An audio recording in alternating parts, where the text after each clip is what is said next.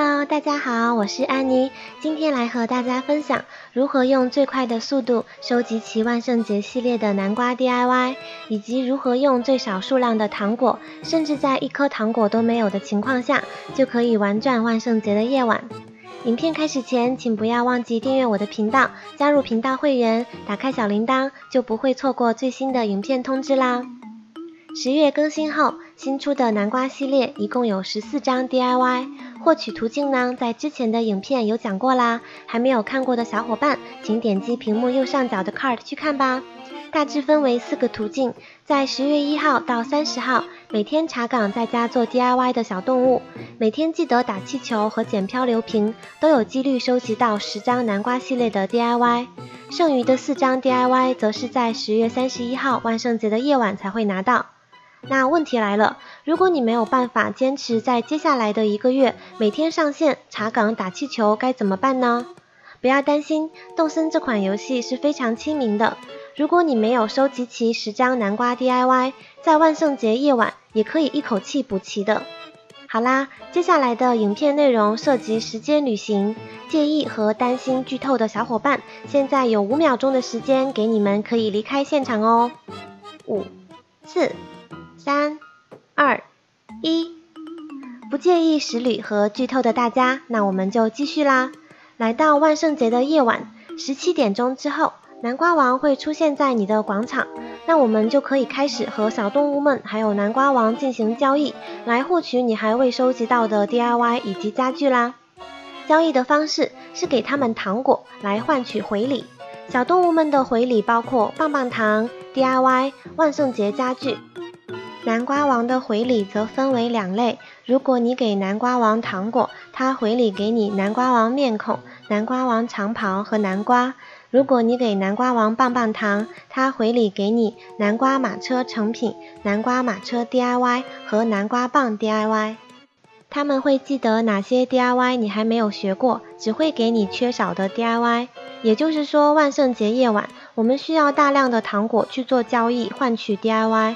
至于糖果获取的方式呢？十月开始，Nook 商店的橱柜售卖糖果，每人每天却只能购买一个。如果你已经有囤足够大量的糖果，那就不停的在万圣节和小动物们还有南瓜王做交易就好啦。这里建议是至少准备二十五颗才会够用。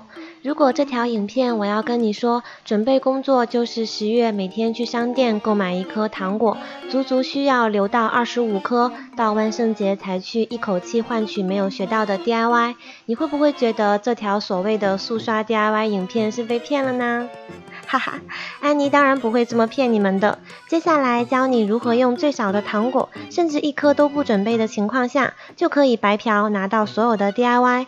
准备工作非常简单，就是去裁缝店购买一件万圣节相关的服饰就可以啦。接下来我会用我的二岛胖丁的账号来给大家演示一遍如何零糖果也能做到快速收集到完整的南瓜 DIY 吧。首先，我已经来到了十月三十一号，先来裁缝店购买万圣节主题的帽子或者服饰。这个时候，我的身上是一颗糖果都没有的。万圣节系列的 DIY，我之前也只学习了一张，因为需要给出糖果才能换到 DIY 和家具。那我们现在就去索要糖果吧。对的，你没有听错，是去索要。如果你和室外的小动物讲话，他们是会向你索要糖果的。如果你给了糖果，就可以进行交易；如果你选择不给，他们就会涂鸦你的脸。如果你身上没有糖果，他们便会放弃向你索要，甚至还会施舍给你三颗糖果，但是这个只会触发一次。然而三颗糖果怎么够用呢？接下来就是教你向小动物们反向索要糖果。第一种方法是无限薅羊毛的办法，针对室内的小动物。只要你去和室内的小动物讲话，并且穿着万圣节主题的服饰，他们就会分你一颗糖果。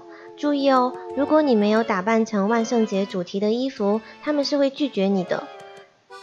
那这里我试验了两个岛屿，都是有三只在室内的小动物，我们分别去找他们，每人要一颗吧。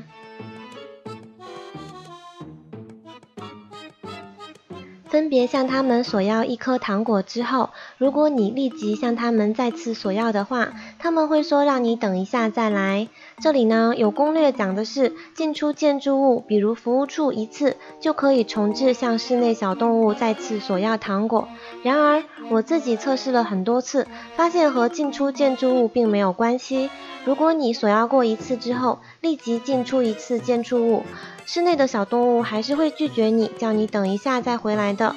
而我们真正需要做的是直接等待五分钟，不需要进出任何的建筑物，就可以再次向室内的三只小动物索要一轮的糖果啦。接下来就是进入无限的循环。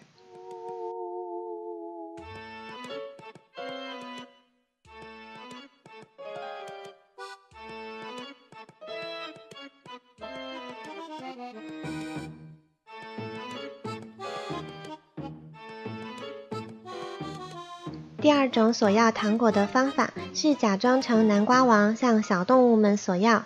这里首先你需要给南瓜王两颗糖果，南瓜王会分别给你南瓜王的面孔和南瓜王的长袍。